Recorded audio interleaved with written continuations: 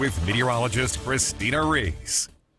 Good evening, Northeast Kansas. Thanks for joining us here on KSNT News. It was very similar today compared to the weekend. Plenty of sunshine, hot, humid, and windy once again for today. But checking out our Emporia camera, you can't even really see much in terms of cloud cover overhead. Sunshine dominated through much of the day today, and that's the case towards downtown as well. But still on the toasty side, temperature-wise, we're sitting at 93 degrees.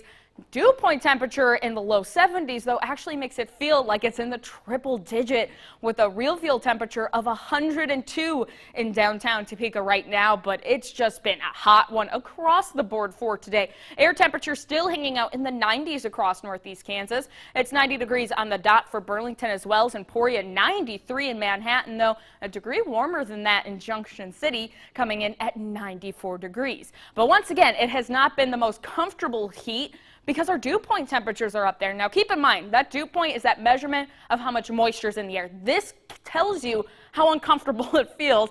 Dew points in the 60s and low 70s starts to put things more so on the muggy side. So not only do you feel that stickiness to the air, it makes it feel all that much hotter out there as well. The capital city, not the only one seeing heat index values in the triple digits right now, feeling like 100 degrees on the dot for Holton as well as Hiawatha, 101 for Manhattan and Junction City, but it's actually feeling like 102 degrees outside of Clay Center right now.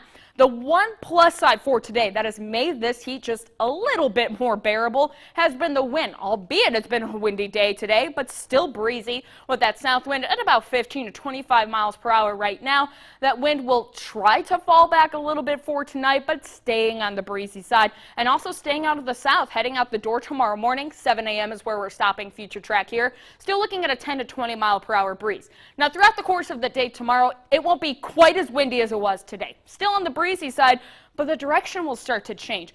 Through the morning, we all hold on to a south wind, but as we progress throughout the afternoon, that south wind starts to clash with a north wind, still 10 to 20 mile per hour breeze regardless of the direction, but that shift in direction is due to our next cold front.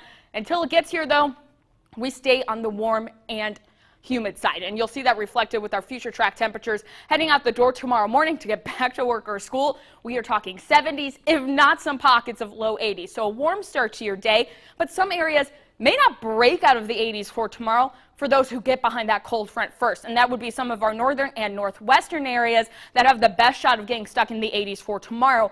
Ahead of that front, still toasty. We are talking 90s, and it will stay on the muggy side as well. Once this front really starts to sweep through during the evening hours, it's a completely different story heading out the door Wednesday morning. We are talking 50s and 60s instead of 70s and low 80s. So a much more comfortable start to the day. But as a whole, Wednesday will be much more comfortable. We're talking highs only in the upper 70s and low 80s. The other takeaway for Wednesday, it won't be nearly as humid either as we get completely behind that cold front. But it could also serve as a trigger for showers and storms.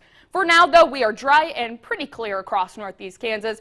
A few clouds are expected for tonight, but otherwise we stay mainly dry. Now, late in the night, more so into the morning hours of tomorrow, this model keeps things dry. We could see an isolated shower storm pop up, though. However, the better chances for some scattered showers and storms will come as we progress through the afternoon into the evening, and it's a chance of rain across the board. Best chance of potentially seeing some stronger storms, though, will be for the eastern half of the region late afternoon into the evening before the rain chances start to taper off as we get into early Wednesday. Either way, it's not the best setup for severe weather, but any stronger storms that do develop could potentially pose the threat for some damaging wind gusts and large hail. That would be the main threats we're looking at. But for tonight, we are quiet, just warm and stuffy still, and we hold on to that south wind still at 10 to 20 miles per hour, helping keep temperatures in the upper 70s. 78 is the low we're looking at in the capital city.